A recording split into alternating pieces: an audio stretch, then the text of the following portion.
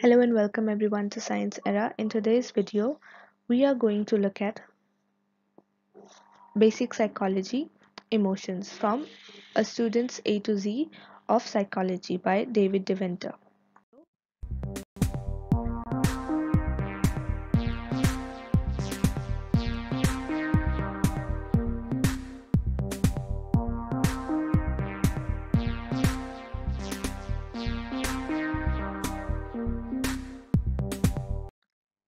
Every day of our lives, we experience a variety of emotion.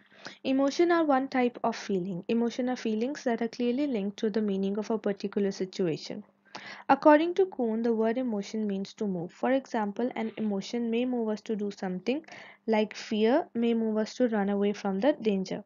In explaining what takes place during the experience of an emotion, we need to understand how bodily arousal, behavior, cognition, and expression are interrelated. The concept of emotion therefore can be defined as combination of physiological arousal combined with perceptual cognitive processes and observable behavioral expressions. Most important components of emotion include physiological arousal, cognitive processes, and behavioral expressions. Physiological component Physiological arousal associated with um, emotions occur through the action of autonomic nervous system which regulates the activity of glands, smooth muscle and blood vessels. When an emotion is experienced, arousal increases and sympathetic system activates the body for emergency action. For example, for fighting to protect the person or fleeing from the danger. The arousal leads to powerful bodily changes that improves the chance of surviving in an emergency. After a period of intense emotion, activation of parasympathetic nervous system has the following effect. Heart rate slows, the pupil size return to normal and blood pressure drops. In this way, the parasympathetic system restores the balance and helps build up and conserve body energy. The connection between emotion and autonomic arousal provides the basis for the use of devices like a lie detector. Move accurately more accurately called polygraph. A lie detector is a device that is usually used by the police to record physiological changes in the body, such as the change in heart rate, breathing rate, and blood pressure as they question a person. The lie detector does not in actual fact detect lies but rather measures emotional arousal by monitoring the heart rate, blood pressure, breathing rate and the amount of sweats on the hand while person responds to the question. The idea is that lying causes an increase in physiological arousal which is picked up by the lie detector and this can indicate whether the person response to a question is a lie or not. Emotions are highly personal and related to subjective experience. In understanding emotion, we usually rely on individual or subjective verbal reports of what is people are experiencing. People's cognitive processes about events in their lives are therefore the key determinant of the emotions they experience. A specific event, such as driving a car, for example, may be very pleasurable for some people but highly threatening and thus anxiety provoking for another. The emotion relating to driving depends on what a person thinks about driving. The context of driving past experiences regarding driving and present needs. For example, a young person who gets freedom and independence by driving is likely to see driving as an enjoyable experience, whereas a person who has recently been in involved in a motor vehicle accident may view it as scary or unpleasant experience. Behavioral components. Although we can talk about our emotions, they are usually expressed in body language or non-verbal behavior. Bodily gestures and facial expression are used to show a variety of basic emotions. For example, imagine that you see a girl who has tears in her eyes, with the corner of her mouth turned down and the perhaps trembling lips who says little and sits slumped over. On the basis of her facial expression and body language, it is likely that you will conclude that the girl is sad and despondent, even though you have not spoken to her. Basic facial expression like anger, fear, disgust, sadness and happiness appears to be fairly universal. This means that these facial expressions are interpreted in the same way by all cultures. However, the interpretation for many facial expressions can be shaped by learning. As a result, some facial expressions are found only in specific cultures. For example, among many African cultures, sticking out tongue is a gesture of disrespect or teasing. For a person from Chinese culture, sticking out tongue is a gesture of surprise. If a person comes from another culture, it is important to know the social context in which a facial expression developed in order to make sure that the expressed emotion is not misunderstood.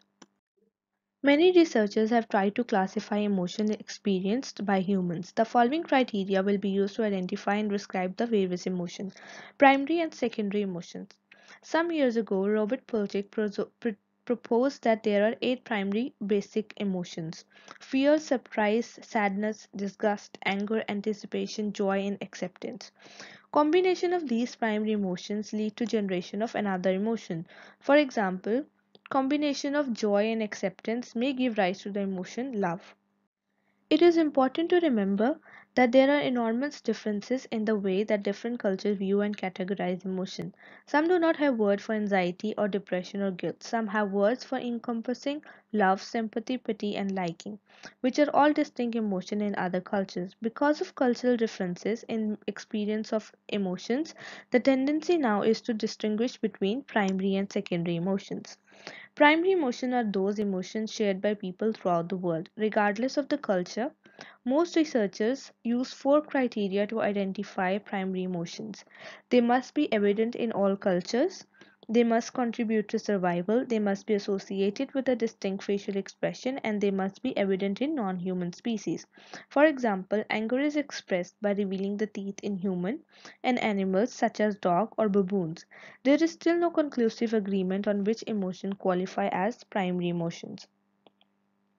Secondary emotions are those that are found in some cultures but are not in all of them. Secondary emotions may be considered as various combination of primary emotions as influenced by cultural background. Positive and negative emotion. Emotion may be experienced as positive or negative. Positive emotions like lo- joy, love, acceptance usually experienced as pleasurable and rewarding. Positive emotion may create an urge to be creative, to explore, to seek new experience and to grow. In short, positive emotion encourage personal growth and social connection. A capacity for having pos- positive emotion is a basic human strength and may lead to development of emotional intelligence. Negative emotions, on the other hand, are usually experienced as unpleasant. Intense negative emotion involves arousal of sympathetic nervous system, which prepares the individual to either run away in fear or fight in anger. When physiological arousal is prolonged or unresolved, negative emotion may contribute to the development of physical illness, such as headaches, stomachache, ulcers, and physiological problems such as depression or anxiety.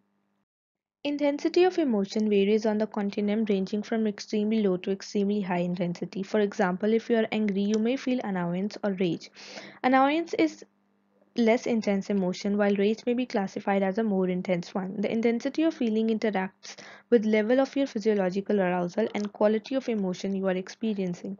At the low level of physiological arousal, the emotion experience are at the low intensity.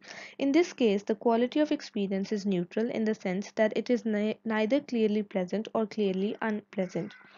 Emotions like acceptance, boredom, and annoyance belong to this group. At a high level of psychophysiological arousal, emotion experienced are usually of high intensity and the quality of emotion can in most instances be clearly defined as the pleasant or unpleasant.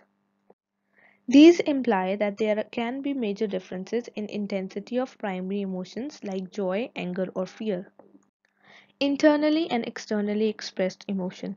Emotion are expressed and recognized in different ways. For example, we can distinguish between internal and external expression of emotion.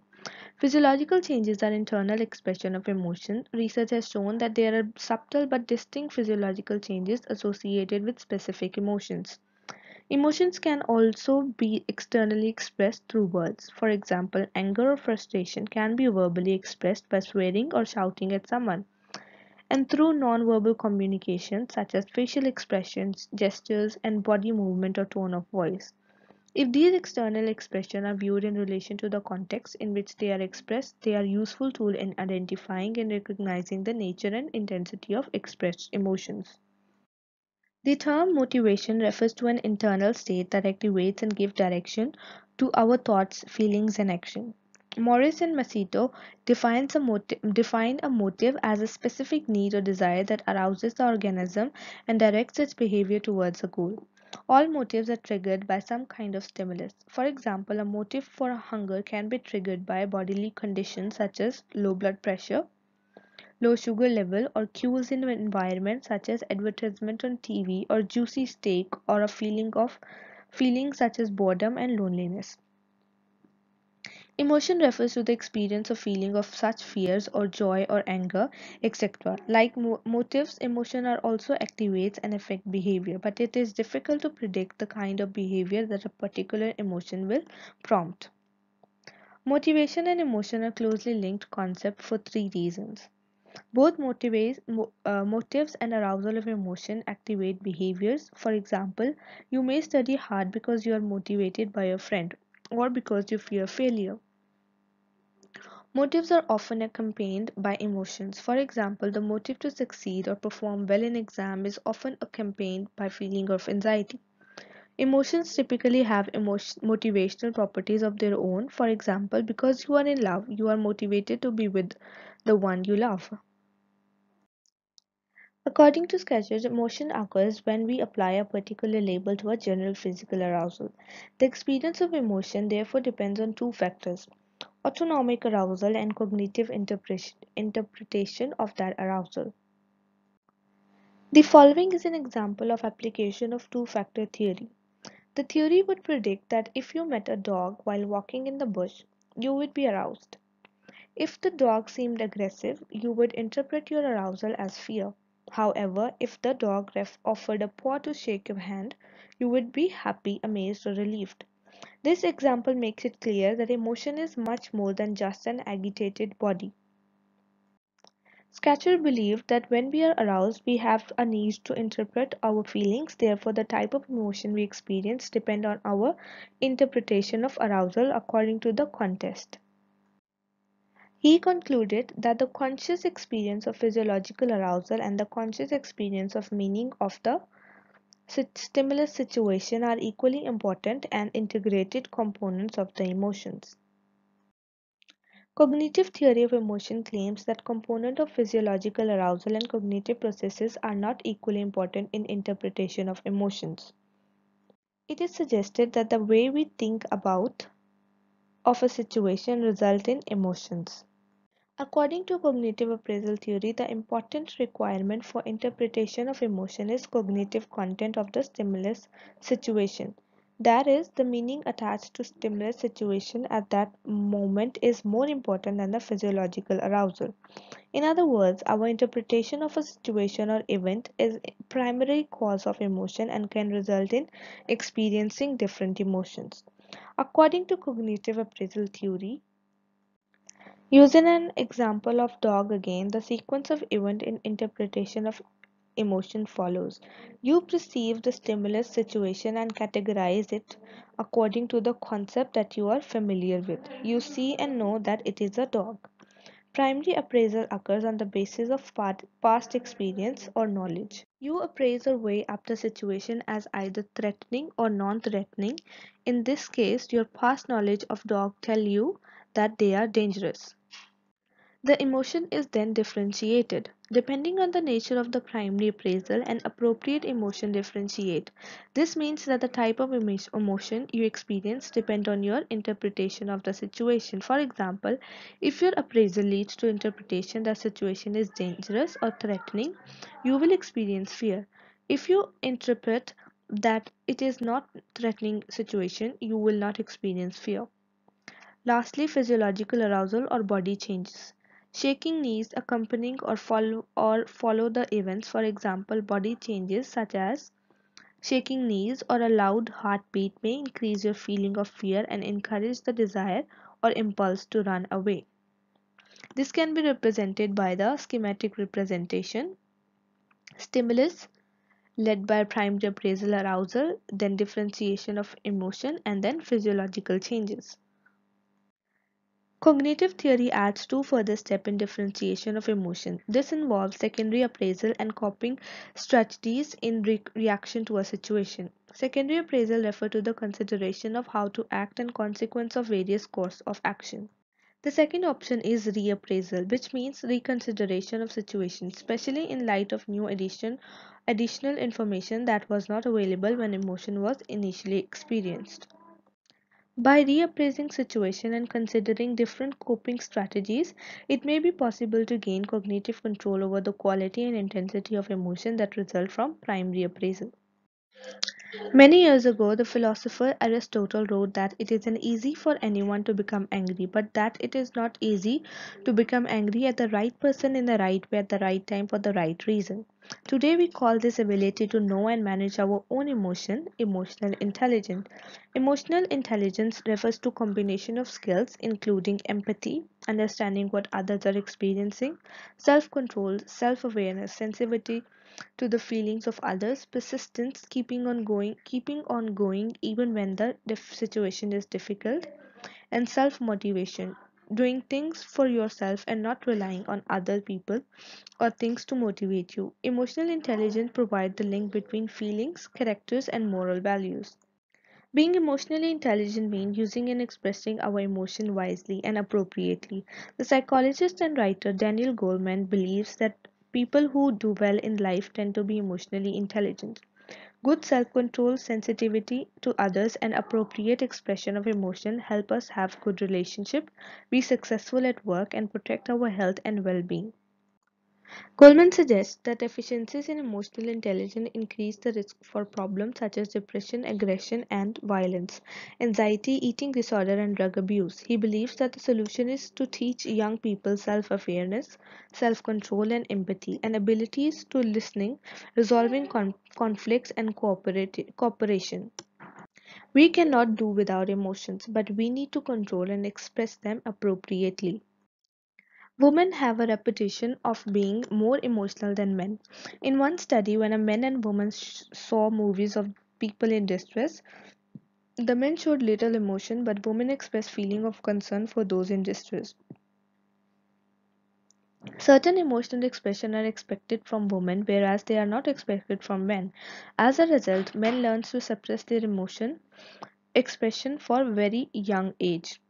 Emotions such as sympathy, sadness, and distress and expression of these emotions, such as crying, are often considered unmanly in many cultures.